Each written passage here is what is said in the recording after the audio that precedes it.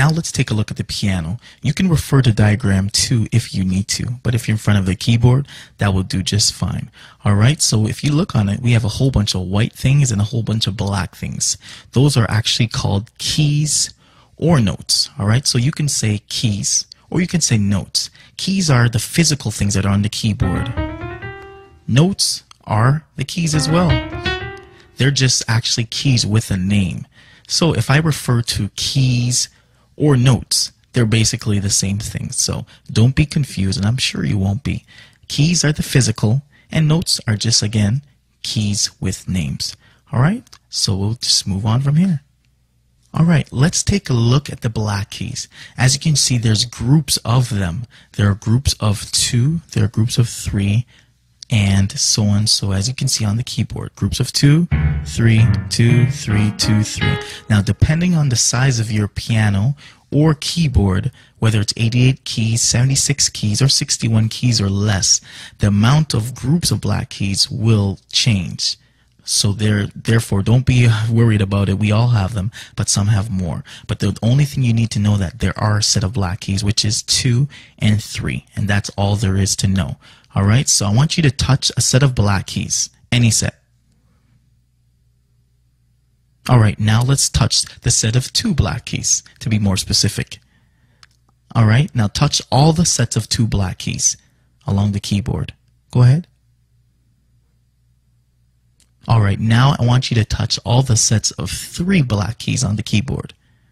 Every single one you see, all of them all together. Now the next thing you need to know is about going up and going down. All right, so that's not pointing to the ceiling or towards the floor, but how it relates to music. Okay, so when you go up, you go towards the right. So therefore, I want you to point to the right right now. That's right, point to the right. Whenever you go that way, that means you're going up. Now, if you wanted to go down, which way would you point? Not to the floor, but which way? That's right. You would point to the left. So therefore, if you're going to go up, you're going to point to the right. And I want you to do that with me. Do it again.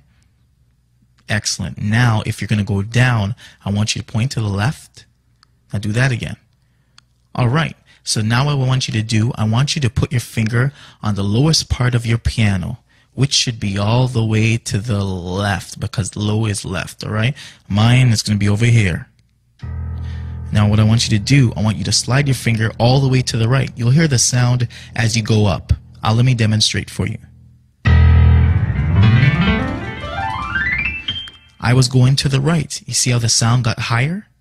Now let me start from the top, which is my far right, and go all the way down to exercise how the down sound sounds.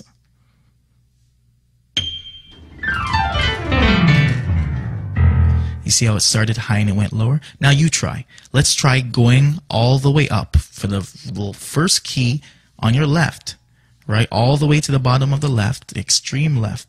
That key that you find. Now slide it all the way to the top. Go ahead.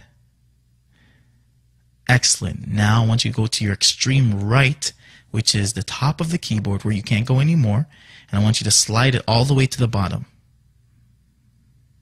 Excellent. All right, so now you know which way is up and which way is down musically.